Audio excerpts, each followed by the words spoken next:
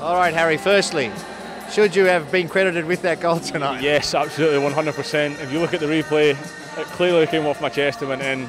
Um, I've, I said at the time I felt a little bit sorry for Dukey because I actually tried to get in the way of it, but he's hit me and it's went in, so I'm taking it all day long.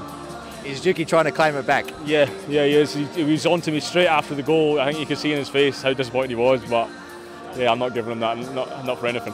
That's eight goals in 19 caps now. It's a, a record that a striker would be proud of. Uh, can...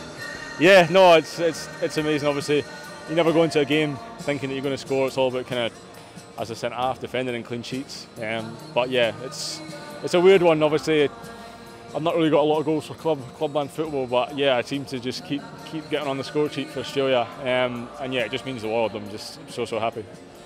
Tell us about uh, playing alongside Alessandro Circati tonight in his first game. Uh, how did you find that? Yeah, amazing. Um, I thought he was great. You know, only his birthday the other day, coming in and making his debut against a Premier League striker like Chris Wood. Um, who's a really tricky customer to play against. You know, he's big and strong, but his movement's really good. He can hold the ball up well. Um, so for you know a young lad to come in and, and make his debut in, against a striker like that, and, and he's done fantastically well. Um, defensively, but on the ball, you know, breaking lines, not not being afraid to step out. Um, so yeah, it was a, it was a great debut for himself, and yeah, only 20 years old. Hopefully, a bright future for him as well.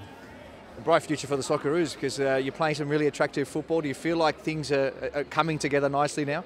Yeah, um, obviously, I think we've had this kind of little tag about being a, and to be fair, I've said it before as well, about kind of being an off the ball team and a pressing team and a working hard. But I think you've seen tonight and over the last couple of games, we've got real quality as well. Um, I think we showed that you know a lot tonight, maybe more than we did the other night, um, and capitalised on, on our chances. You know, we still could, you know, have, have had more with some great football through the lines, but I'm sure that'll come and it'll, it'll, be there for November for the qualifiers certainly. Looking forward to Melbourne now. That's when the real uh, qualification campaign starts. Uh, how do you prepare for that now? Yeah, it's you know obviously good coming off the back of all these friendlies, if you, you could call them that. Um, with a win, um, and yeah, it, it, stands us in good stead for, for the tough games coming up. It's, it's never easy, no matter what game you play against, no matter what nation you play against, away from home, home. You've always got to get the job done.